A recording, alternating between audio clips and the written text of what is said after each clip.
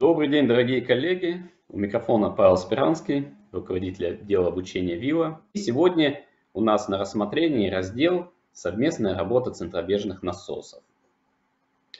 А, вообще на большинстве объектов и даже, так скажем, в большинстве систем насос устанавливается не один. Их устанавливается минимум два, а иногда три, четыре, пять и вплоть до бесконечности. Делается это по разным причинам. А, мы эти причины и задачи, решаемые совместной работой, обсудим далее.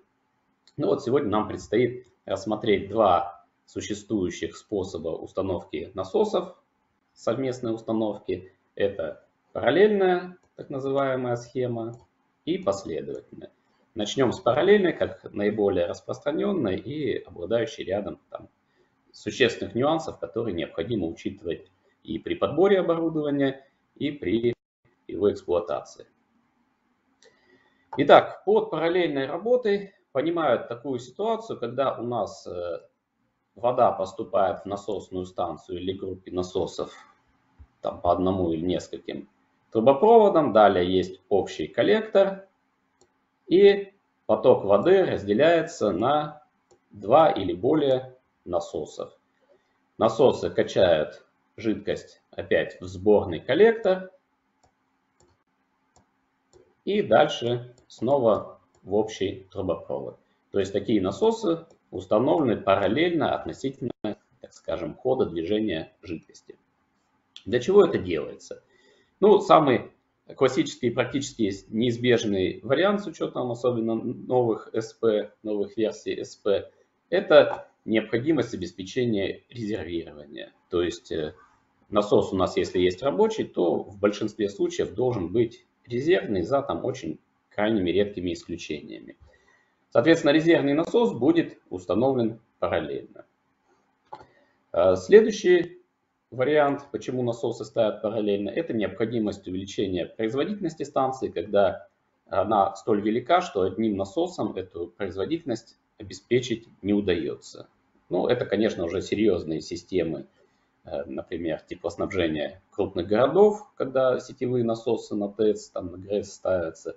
Это системы орошения, когда целые речки приходится перекачивать и перенаправлять там в каналы и куда-то для полива, для орошения.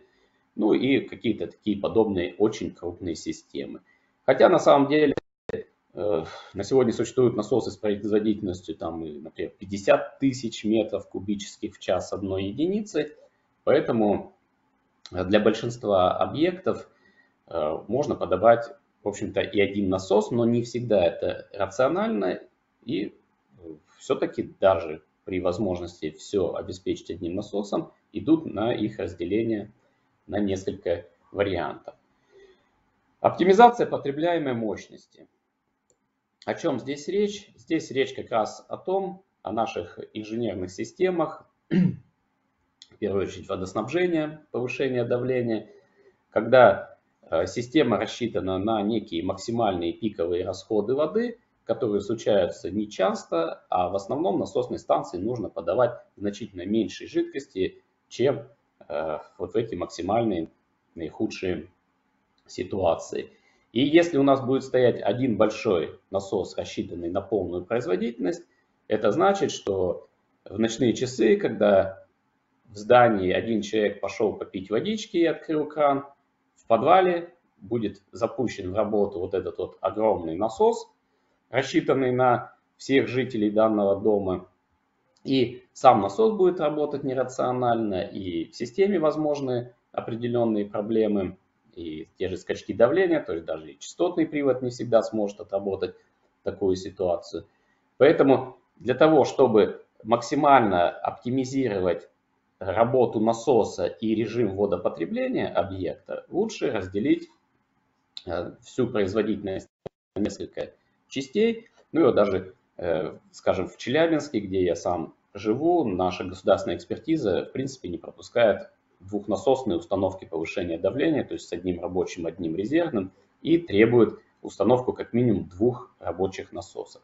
Ну, здесь, конечно, нужно подходить э, с умом пониманием, то есть если это очень маленький объект, то, возможно, там нет никакого смысла делить производительность на 2, но большинство многоэтажных там, жилых общественных зданий, в них уже целесообразнее поставить хотя бы два рабочих насоса, чтобы они могли отрабатывать вот эти вот маленькие расходы максимально эффективно.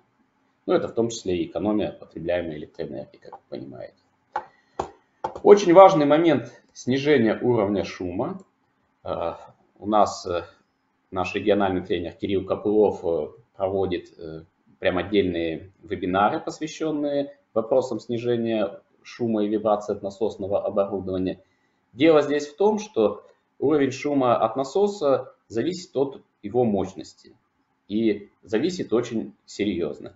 Поэтому, когда вы э, переходите на насосы меньшей мощности, разделив производительность на 2 или 3 или более агрегатов, вы тем самым получаете насосы со значительно меньшим уровнем шума. То есть, например, разделив производительность на 2, соответственно, пропорционально уменьшив мощность, вы можете по уровню шума выиграть там 10-15, может быть 20 дБ. Это очень серьезная величина, которая может э, оказаться вообще критической для данного объекта. То есть будут жильцы там жаловаться потом на шум или не будут. При этом, э, когда мы имеем шум от двух одинаковых источников, то по всем законам физики этот шум, то есть уровень звукового давления, он не складывается арифметически. А там через десятичный логарифм идет надбавка, и если взять два одинаковых насоса, то включение второго добавит всего лишь примерно 3 децибела к уровню шума первого насоса. То есть разделив весь расход и всю мощность на два рабочих агрегата, мы снизили э, уровень звука от каждого из них, например, на минус 15 дБА, а включение второго даст всего лишь 3, то есть 18 ой, ну, простите, э, то есть мы получим снижение на 12, да, прибавим вместо того, чтобы вычесть. Э, таким образом, если вы хотите избежать проблем с шумами, то тоже очень хороший вариант делить мощность насосов на несколько единиц. Снижение массы и габаритов оборудования. Тоже очень важный момент. Э, я думаю, многие из вас видели размеры дверных проемов ВТП или там в насосных станциях, э, либо же, если у нас оборудование стоит вообще в какой-нибудь крышной котельной, вот попробуйте туда затащить крупные насосы, ну и, конечно, не только насосы, и те же котлы и все прочее. Поэтому в ряде случаев это вообще оказывается критическим моментом, когда мы не можем большой агрегат занести, э, установить э, просто вот по таким элементарным причинам. Поэтому в этом случае тоже удобнее работать с маленькими насосами. А, возможное снижение стоимости самих насосов и автоматики. Э, это, конечно, происходит далеко не всегда, когда мы берем несколько насосов, поскольку у нас растет количество арматуры устанавливаемой и э, усложняется обвязка трубопроводами. Но э, зачастую, например, когда у вас установлен частотный преобразователь, скажем, один на группу насосов, и эти насосы имеют мощность 100 кВт, то стоимость будет, понятно, частотного привода одна. А если вы разделите на 3 по 30 кВт, то стоимость 30 киловаттного частотника окажется, конечно, существенно ниже. И, возможно, в комплексе вы в итоге придете даже к какой-то экономии. Но здесь нужно считать, рассчитывать различные варианты. Ну и повышение надежности системы. Когда у вас всего лишь два насоса рабочие резервные, и один из них сломан и находится в ремонте, да еще и со сроком поставки запчастей там несколько недель, и у вас э, на Новый год, на 31 декабря остается в насосной станции всего лишь один насос, который сломается именно 31 декабря, то, наверное, это не самая приятная ситуация. И лучше бы, чтобы у вас было 5 или 6 насосов, и выход из строя одного из них, это всего лишь там потеря 20% производительности что, конечно же, не приведет к катастрофическим проблемам ни на каком объекте. Поэтому это тоже может быть аргументом в пользу параллельной установки насоса. А, подводя итог, можно сказать, что практически везде у нас будут параллельно установленные насосы, и мы должны уметь определять их совместные характеристики и анализировать работу насоса как по отдельности, так и совместно. Ну, а на этом слайде я просто привел примеры готовых изделий, в которых вот эта вот параллельная установка насосов реализована уже, так скажем, на заводе, э, в их конструкции. Ну, что мы здесь видим? Э, канализационную установку для откачки бытовых стоков, два насоса. Но здесь они установлены с целью, что у нас один рабочий агрегат, второй резервный. Хотя они могут в том числе включаться параллельно, если у нас возникли какие-то пиковые расходы. Принцип параллельной работы реализован в так называемых сдвоенных насосах, которые достаточно популярны, поскольку позволяют э, обеспечивать очень компактную установку и минимум арматуры запорной устанавливать. Здесь возможны два режима работы, когда включены одновременно оба насоса и работают параллельно, либо когда один из них находится в резерве, а второй находится в рабочем состоянии. Ну и, конечно, самые разнообразные многонасосные установки, повышение давления, э, пожаротушение, теплоснабжение, когда в параллель устанавливается от двух, ну или от одного, если одна насосная установка, до, как правило, в стандарте шести насосных агрегатов. И, соответственно, э, их включение идет последовательно, ну, следовательно, каскадно, да, они становятся параллельно, включается каскадно в зависимости от растущего водопотребления. Итак, э, построение совместной характеристики. То есть, если у нас есть два насоса, начнем с того, что они одинаковые, примера, когда они одинаковые. У нас есть характеристика этих насосов, э, естественно, характеристики их совпадут, раз они одинаковые. И встает задача построить характеристику двух насосов, работающих параллельно. Здесь очень простое правило. Мы должны складывать расходы этих насосов при одном и том же напоре. Как это происходит? Берем нулевое значение напора и, соответственно, максимальное значение расхода для данных насосов. Складываем, а поскольку насос одинаковый, значит удваиваем. Если будет три насоса, утраиваем. То есть неважно не сколько, 4, 4 раза увеличим и получаем э, новую рабочую точку совместной характеристики. Берем какое-то следующее значение напора и для него опять производим сложение производительности и получаем следующую точку. И таким образом доходим до э, нулевых значений расхода. Здесь у нас э, точка совместной характеристики совпадет с точкой работы одного насоса на закрытую задвижку. Соединяя полученные точки кривой, получаем характеристику совместной работы. То есть, э, если у нас, скажем, в техническом задании указано 100 метров кубических в час производительности и напор, например, 10 метров, и мы хотим э, обеспечить эту рабочую точку двумя параллельно соединенными насосами, значит нам нужно 100 кубов разделить на 2, это будет 50 кубометров в час. И подбирать насос, два насоса параллельно работающих, каждый из которых подбирается на 50 кубов в час, но на общую величину напора 10 метров. И тогда, работая в системе совместно, мы получим вот эти вот 100 кубов при напоре 10 метров и каждый из насосов будет качать ровно половину, ровно свои 50 метров кубических в час при напоре 10 метров. Поэтому и насосы выбираются вот на эту вот точку. 50 кубов, 10 метров. Их берется две штуки. Три насоса, значит делим 100 на 3, получаем 33 куба в час и подбираем три насоса, каждый из которых на 33 куба и 10 метров на суммарный напор.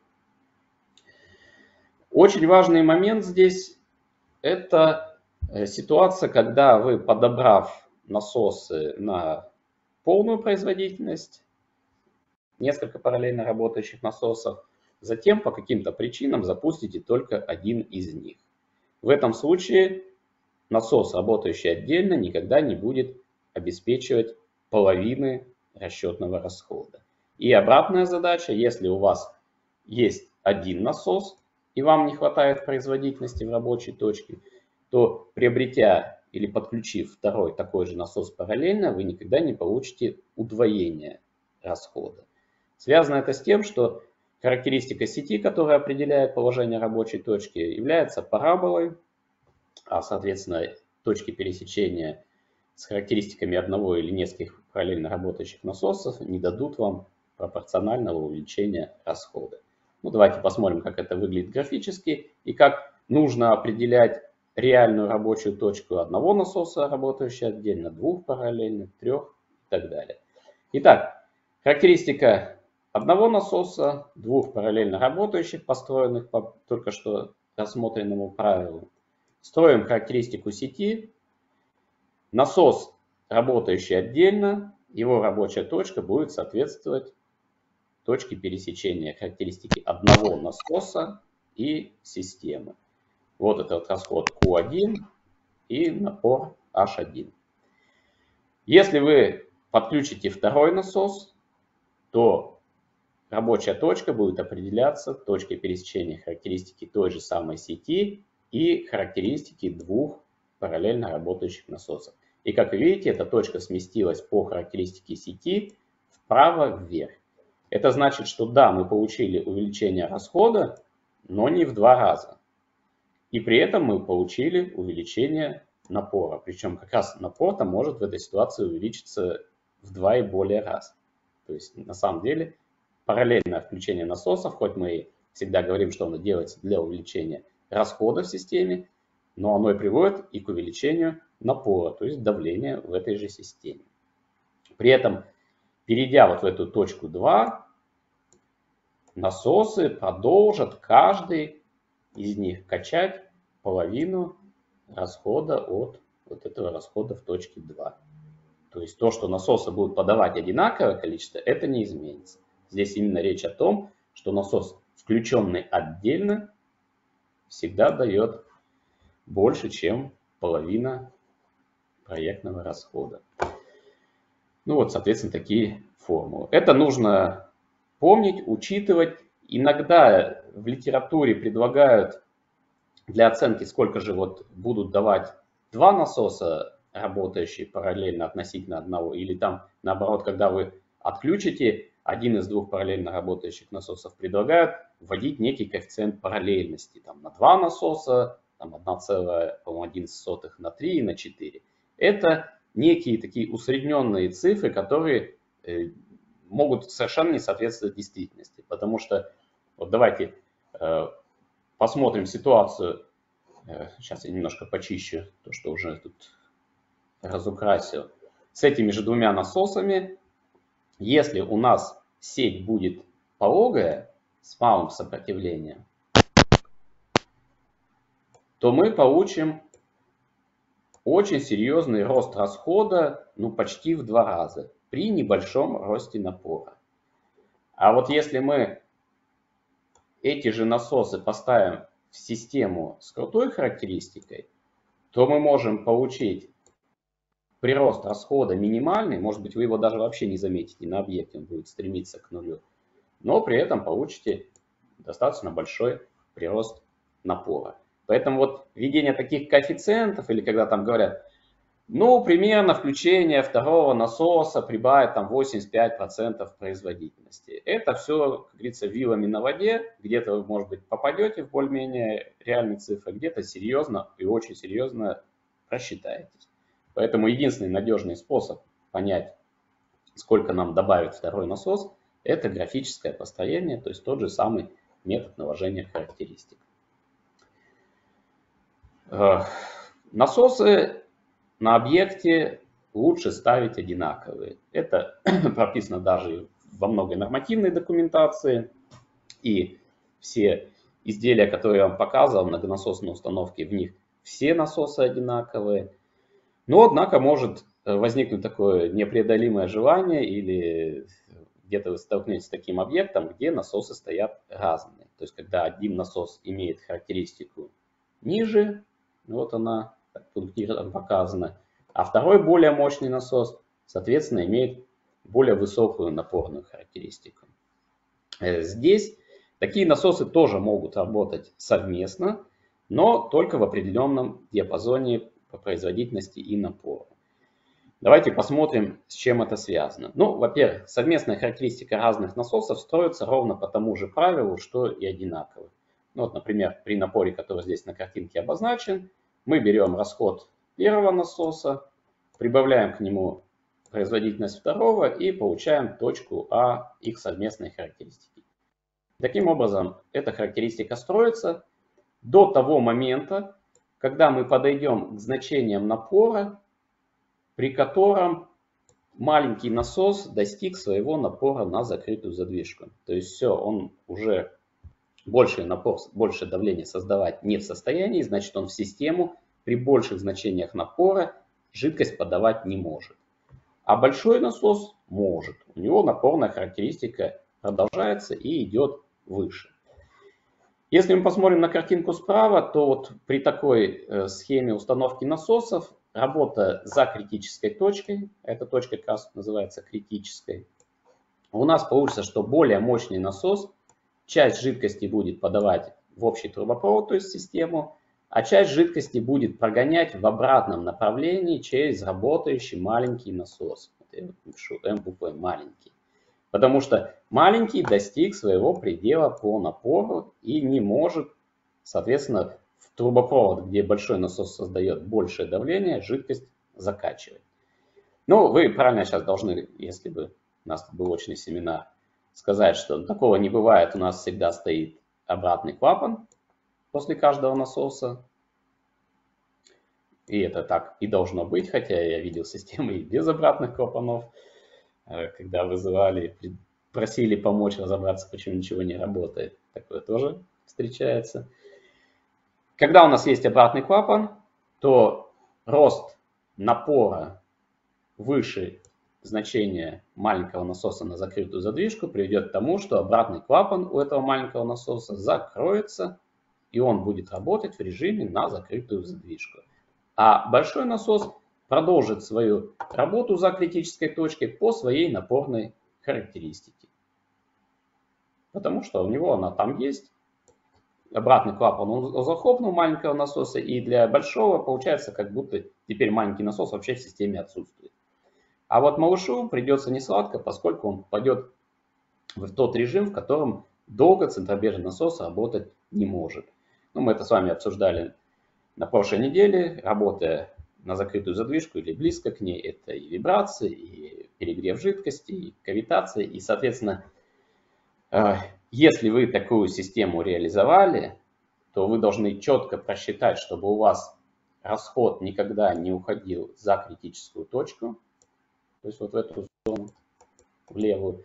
Либо же вы предусматриваете такую автоматику, которая позволит отключать маленький насос, когда сопротивление системы большое, и мы уходим за критическую точку. Ну, сделать это, в принципе, не так сложно. Можете поставить на выходе из маленького насоса свой датчик давления, связать его с прибором управления и задать в контроллере условия, что при достижении определенного значения э, давления насос должен включаться. Но при этом обязательно надо учесть, если у вас давление еще и на входе колеблется, да, то есть если система подключена, например, э, к какой-то другой системе с колебаниями давления, то вам э, нужно отслеживать не давление на выходе, а нужно отслеживать перепад. То есть реальный напор насоса, и когда он достигнет напора маленького насоса на закрытую задвижку, он должен будет отключиться. Но основная рекомендация не надо насосы разные ставить параллельно, и вам не придется вот эти все режимы продумывать, э, автоматикой заморачиваться. Хотя раньше, когда не было частотного регулирования, ну или оно было очень дорогим и сложно было достать, собственно, аппаратуру, э, например, на тех же канализационных насосных станциях э, были рекомендации по установке нескольких групп насосов разной производительности. И вот тогда прямо на КНС, может быть, вы где-то даже это видели, висят схемы вот такие вот э, с совместной работой разных насосов и рекомендации операторам. Конечно, не сам оператор это рисует, это инженера делали, что в часы такого-то притока сточных вод, там, например, минимального, вы включаете один маленький насос, в часы среднего притока, возможно, включаете один большой и один маленький, Ну, а там часы максимального притока, например, все большие насосы. То есть э, вот это вот все просчитывалось с учетом сопротивления сети, притока стоков, и определялись возможные комбинации наиболее оптимальные работы э, разных насосов в параллельном режиме. А, теперь несколько примеров, э, когда, как и почему нам нужно детально анализировать работу насосов как совместно работающих, так и включающихся по отдельности. Ну вот, э, был у меня такой опыт лет 15-18 назад, как говорится, жизнь дала ума, немножко. Реализовывали проект реконструкции центральных тепловых пунктов, то есть сетевые насосы, подбирали в параллельном режиме, стояла задача унификации нескольких объектов, то есть насосы хотел заказчик одинаковый, поэтому в параллель попадалось там где-то маленькая CTP2, где-то 3, где-то 5, там даже, по до 6-7 насосов в параллель. Ну, естественно, их подобрали как положено, разделив расчетную производительность. Там, я просто здесь взял для примера 170 кубов, 23 метра. Ну, получилось 4 насоса EL, которые в достаточно оптимальном режиме, работая совместно, эту рабочую точку обеспечивают. Типовые пункты э, реконструировались для работы в полностью автоматическом режиме, это была основная задача, и, естественно, внедрялось частотное регулирование, причем для экономии частотник ставился один на группу насосов. Ну, в итоге, когда ЦТП стали запускать, ни одно из них не вышло на расчетный режим, и хуже того, они все вышли в аварию, то есть все насосы на всех ЦТП вышли в аварийный режим. Стали разбираться, ну и э, пришли к такому печальному заключению. Э, смотрим на характеристику. Вот у нас один насос, два, три, четыре. И характеристика сети, которая в теплоснабжении идет из нуля, из начала координат, как мы это с вами позавчера выясняли. Э, что происходило на объекте? Запускался один насос на минимальных оборотах, на каких-то минимальных. И мы видим, что точки пересечения характеристики этого насоса и сети как таковой нет. То есть, ну, она, конечно, есть, но она соответствует жесткому перегрузу насоса. Ну, при маленьких, очень маленьких оборотах там серьезно снижается мощность, поэтому э, как бы насос пытался запуститься первый в автоматическом режиме, но постепенно увеличивая обороты, увеличивая мощность, насос так и оставался в перегруженном состоянии. И как видите, и на максимальных оборотах, то есть даже если бы его запускали прямым пуском без частотника, у него все равно нету точки пересечения характеристики в рабочей зоне с характеристикой сети. Таким образом, первый насос, попытавшись выйти на свои 50 Гц, находясь в перегрузе потоком, естественно, там была автоматика, которая контролировала токи на номинальные режимы, насос уходил в перегруз и выводился автоматикой в аварию. После этого автоматика пыталась запустить следующий насос, ну, там же резервный в том числе есть. Следующий насос точно так же вываливался в перегруз, и в итоге на ЦТП все рабочие резервные насосы стояли в аварии по перегрузке электродвигателя. Ну, стал вопрос, и что, как говорится, теперь делать? Как бы начали уже это анализировать более детально, и понятно, что вот в такой схеме один насос и даже два насоса, работающие параллельно, работать не могут. И только три насоса, ну и потом уже четыре расчетных, имеют точки пересечения с характеристикой сети и могут эксплуатироваться.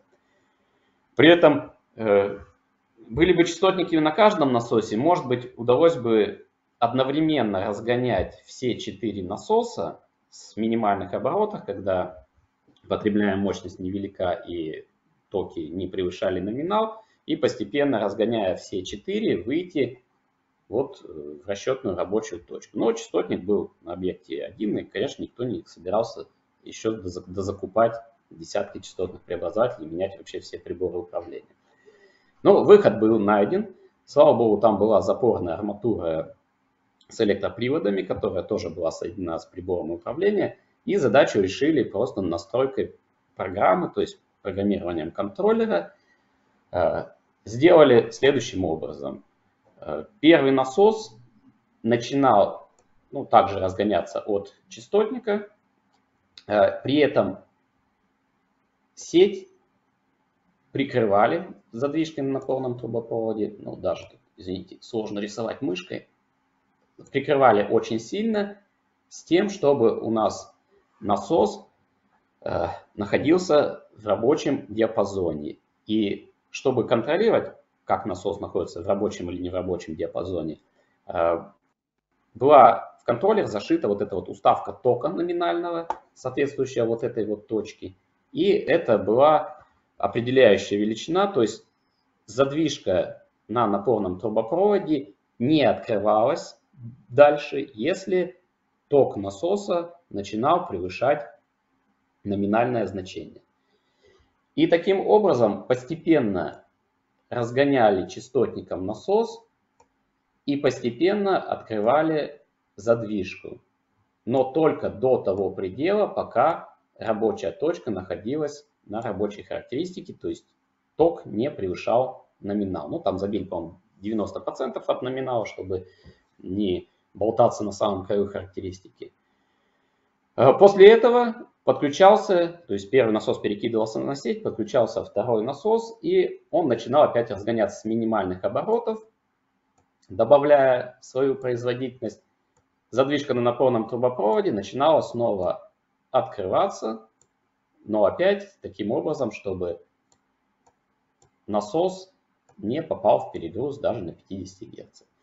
И вот так вот постепенно, параллельно открывая задвижку на напорном трубопроводе, то есть снижая сопротивление сети, и разгоняя постепенно насосы, выходили уже на рабочие режимы и дальше, в зависимости там от сети, от потребностей, уже частотник регулировал э, насос пиковый, поддерживая расчетный перепад на микрорайоне в подаче и обратке.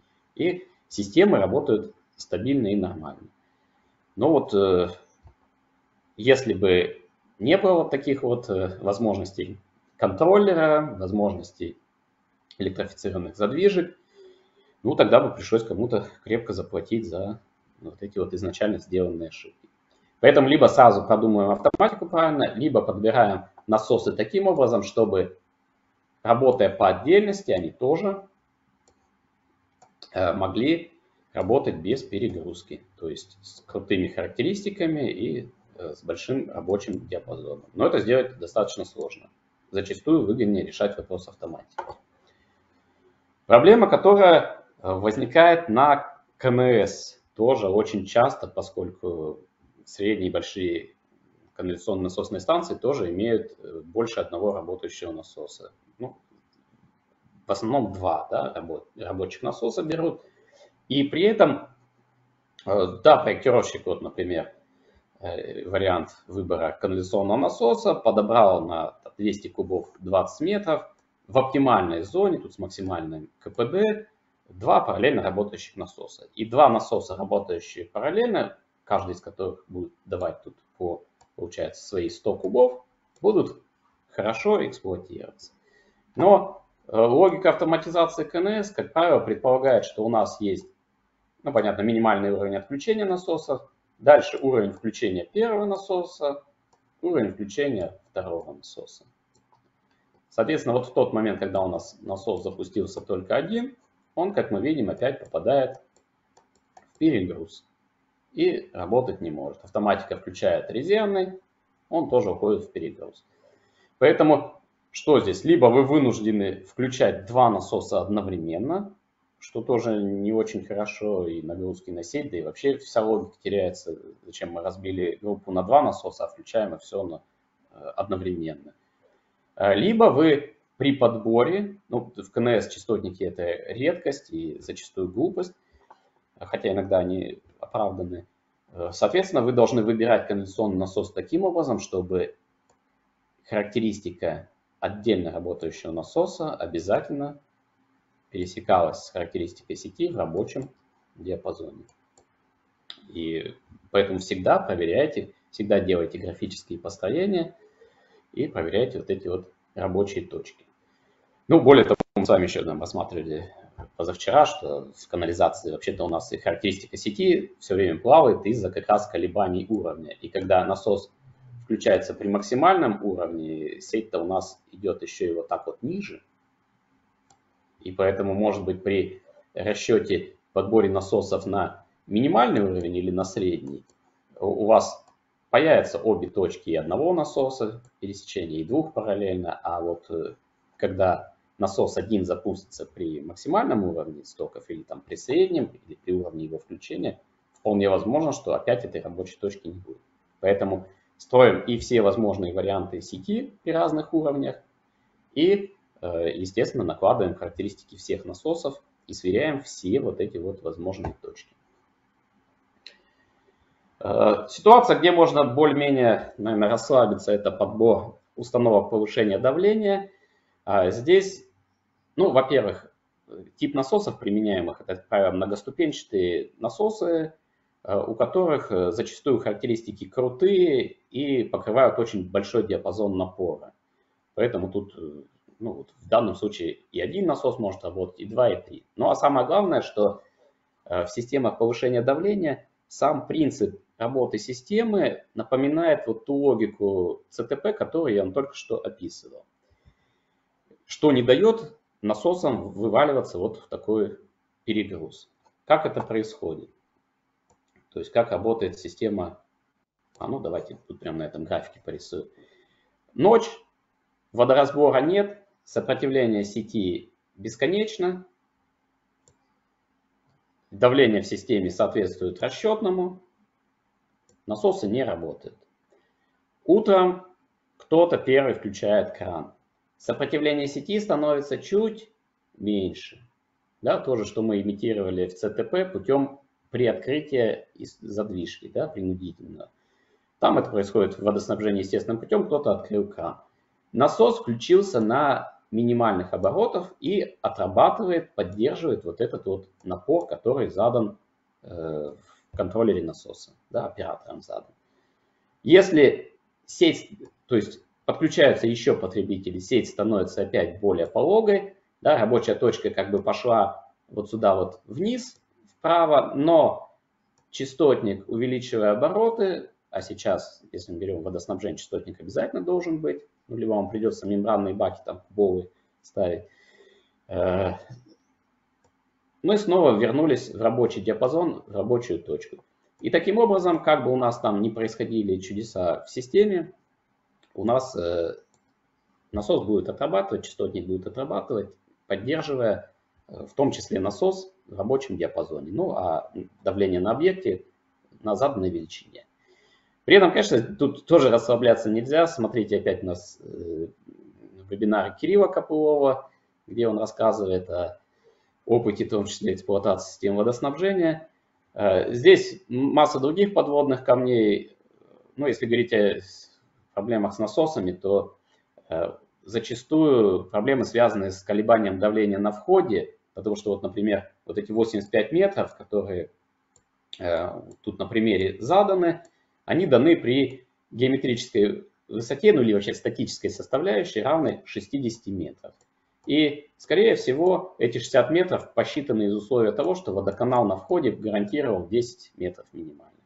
А по факту он вам вечером, ночью, утром, а может и всегда, добьет, например, не 10, а 50. Это значит, что насосом для того, чтобы э, было в системе расчетное давление насосом УПД уже нужно добавлять не 85 э, метров, а нужно добавлять всего лишь на 40, 45. То есть вот эта вот линия, которую тут мы так красиво рисуем, она пересекает нам все характеристики. Поддержание напора насоса, не давления в системе, а напора, пойдет значительно ниже.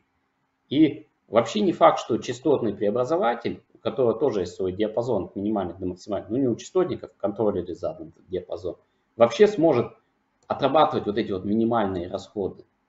И таким образом зачастую насос э, всю свою несчастную жизнь и недолгую жизнь работает где-нибудь в крайней левой зоне, э, на минимальных оборотах, там частотник пытается вот это вот все отработать, и очень быстро выходит из строя. И чтобы этого не происходило, по-моему, даже в СП сейчас уже эти рекомендации появились, э, приходится при больших колебаниях давления на входе ставить редуктор, и вот это вот давление, которое там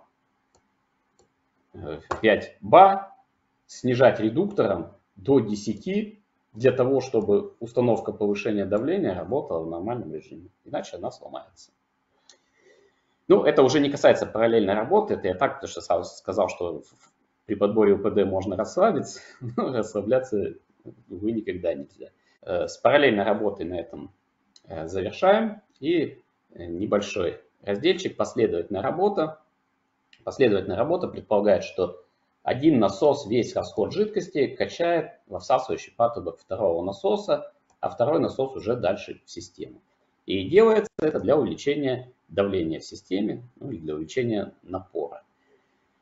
Ситуации, когда в насосных станциях вот прямо стоит группа насосов, и за ней последовательно вторая группа насосов, потому что, как понимаете, у нас должен быть как минимум еще резервный насос, а к нему, значит, еще и резервный последовательный насос. То есть это все очень усложнит схему в итоге. А, таких ситуаций немного, потому что э, создать достаточный напор, достаточный для подавляющего большинства инженерных систем, можно при помощи так называемых многоступенчатых насосов, в которых последовательное соединение рабочих колес реализовано уже в самой конструкции. То есть, как мы видим, многоступенчатые насосы, это как насосы повышения давления. У них несколько рабочих колес, в данном случае три. Соответственно, три ступени.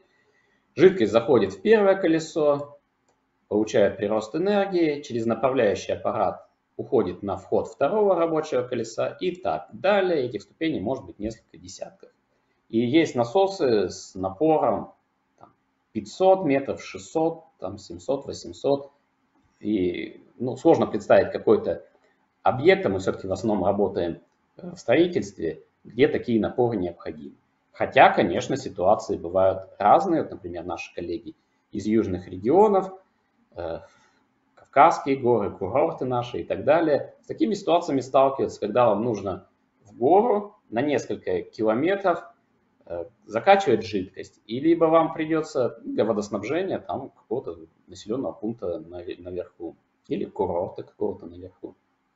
И э, как это сделать? Либо вам придется по всей горе последовательно располагать несколько насосных станций, что иногда вообще технически невозможно, или вам придется на вертолете туда все завозить и потом обслуживающий персонал.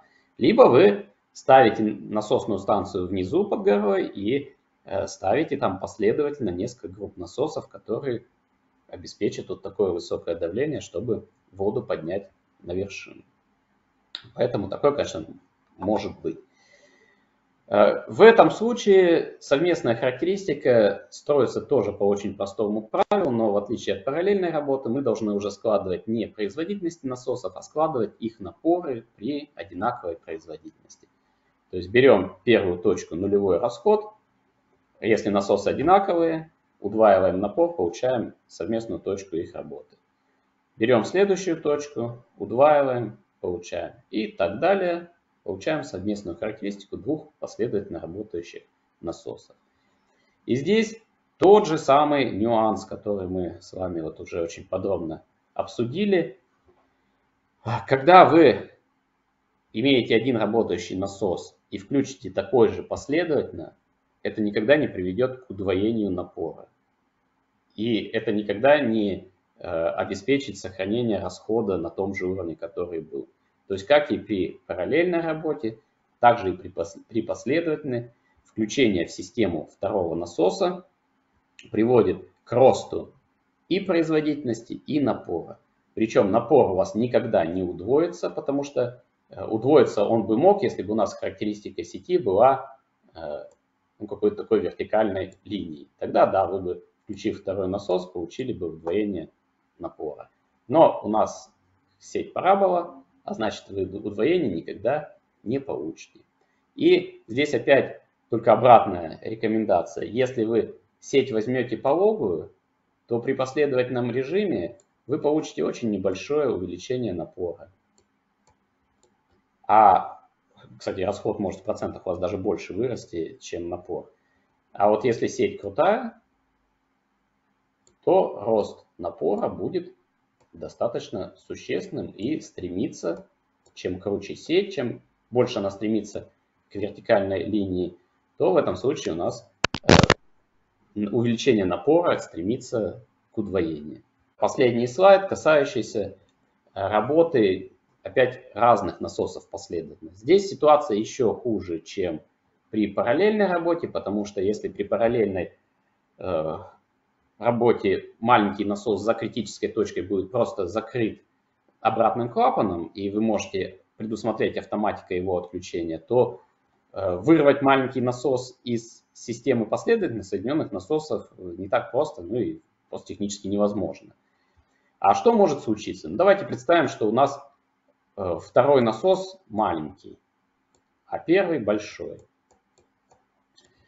Э, в определенном диапазоне у них будет совместная характеристика, которая строится опять по тому же самому правилу. Да, берем какой-то расход Q, э, для этого расхода берем напор первого насоса маленького, второго большого, складываем, получаем рабочую точку.